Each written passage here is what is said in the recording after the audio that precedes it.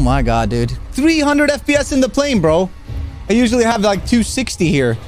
Holy crap. Nope, the title's not clickbait. I finally figured out what files to change to get the same render core amount and video memory scale and so on for Warzone 2. My previous video was from the Modern Warfare 2 beta, and it's a little outdated since they changed the files and stuff, so I thought there was no way to do that, but now I have figured it out. I'm to include everything from that old video as well, so you don't have to go watch two videos.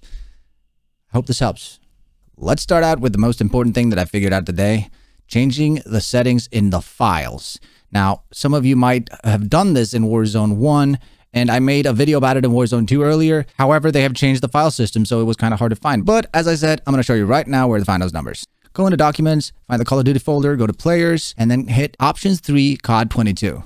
Once in here, scroll down to Display, look for the Enable the Async Compute to Specific Cases, change True to False. Next, scroll down a little further to Gameplay and navigate to the maximum distance at which Claire models are rendered. Change the 5000 to 100. Once you're done here, scroll all the way down to the bottom, and here's the beautiful thing that we had in Warzone 1 where you could change the render count. This, this setting tells the game how many cores from your CPU the game should use. So, this depends on what kind of CPU you have, so do not use my settings. Now, I recommend you try a couple of different settings. Depending on what CPU you have, you can always go in here and you can see how many cores you are. As you can see, it says mine has 16, but I set mine to 8 because I use an Intel processor, and half of the cores in my CPU are E cores, while only the other half are P cores, which stands for performance cores. And I noticed this in Warzone 1 that setting this to 8 gives me a much higher increase in stability and frames. I'm not sure how it works with AMD CPUs, so try a couple of different numbers between 1 and 16 until you find what works best for your rig. Also, here is the video memory scale. I know there's a setting inside the game now, but it only allows you to go up to 0.9, and a lot of YouTube tutorials tell you that you should actually be at 0.8. However, I set mine to 1.2. This might only work for high-end GPUs, however, but it works flawlessly and it it's smooth as never before in Warzone 2. Once you're done with this, hit save. Make sure you right click on the file before you open the game and tick the read only option, or it will change back to normal as soon as you launch the game. This is very important to end this with. Next, to get the most out of your GPU, go and search for graphic settings. Make sure that hardware accelerated GPU scheduling is on, and then you go here to hit browse. You go locate your Call of Duty folder, hit the COD icon, press add.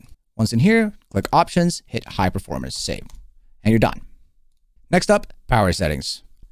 Most of you know about this. If you know what I'm talking about, you can just skip this part. But for those of you who haven't heard of this, I'm going to show you how to navigate there. Control panel, go into Hardware and Sound, and hit Power Options. Once in here, make sure you choose High Performance. Now you can also get ultimate performance on some rigs or Bitsum highest performance, and I'm going to show you how to get those as well. For the ultra performance, I have this saved over here in my old video. I'll make sure to copy paste this in the description of this video as well. Uh, you go in here, you hit run, type CMD, and then copy paste it in there. Boom.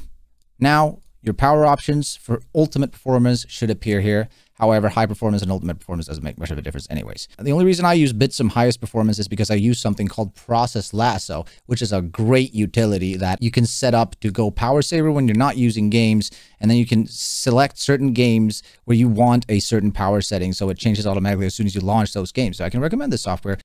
That's it for the power settings. Let's get to the Windows settings.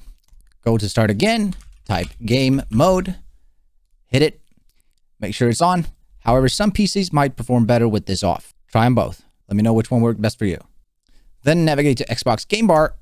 Make sure that is off. NVIDIA users can navigate into the NVIDIA software itself and manage the 3D settings to customize a few things here. Most of these settings are already available in Game and Warzone, so you don't have to mess around with it. Also, until recently, I heard a low latency is actually the way you want to go for in Warzone 2. Uh, for some reason, this gives you more FPS, but I mean, maybe the latency becomes worse. I'm not sure. But Back to the point. Shader cache size. Make sure that you use as much as possible on the drive you installed your NVIDIA drivers on. For me, I'm going to go with 100 gigabytes. It's actually funny how this has reverted since I installed the new drivers. So I'm glad I actually made this video because now I might even get more frames. Let's go to the next step. Some lower end users might want to launch the game in DirectX 11 instead of DirectX 12. And here's how to do that. Go into game settings, add additional command line arguments, type in dash D 3D11. Hit done. Final part is going to be my game settings. I'm going to go walk through real quick here. And even though I have a high-end PC, I am using these settings to get the most frames out of the game. I'll let this load up here. Go into settings, hit graphics. Not everybody likes to run the game on full screen exclusive, but it is the best option for the most frames and least latency. So if that's what you care about, go full screen. Screen refresh rate, highest available to whatever screen you're using. Resolution, same thing there, highest available for whatever screen you're using. VSync off, VSync menus off. Custom frame rate limit, some people tend to actually limit their frame rate, but even if I do limit my FPS to 300, although my screen can only show 240, I have found that unlimited just gets you a little bit extra juice. Not sure why, but I do know it draws more power. So let's go to quality settings. Yeah, render resolution at 100 uh, if you do care about getting those extra few FPS, you can use NVIDIA DLSS or uh, AMD FSR or whichever GPU you're using. Uh, I'm pretty sure you get a few more frames out of that over time as the software somehow, uh, some sort of learning software that over time increases your frame rate. I have played on and off with DLSS, but I can't come around to the, the, the annoying noise you get on loot with it.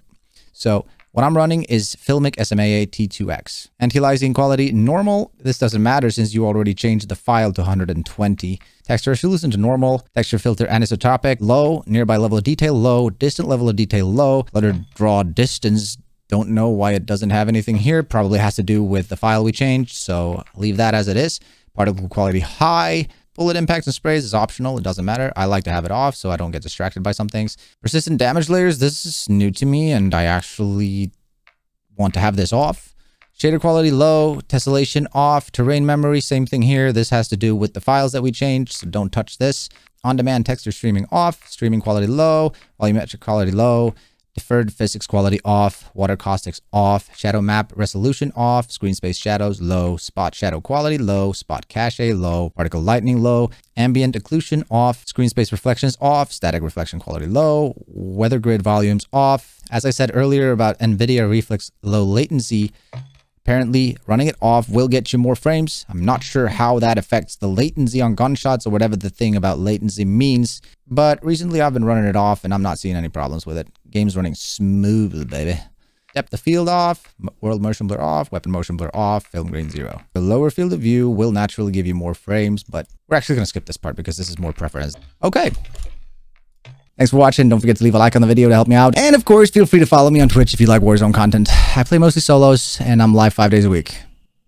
Take care.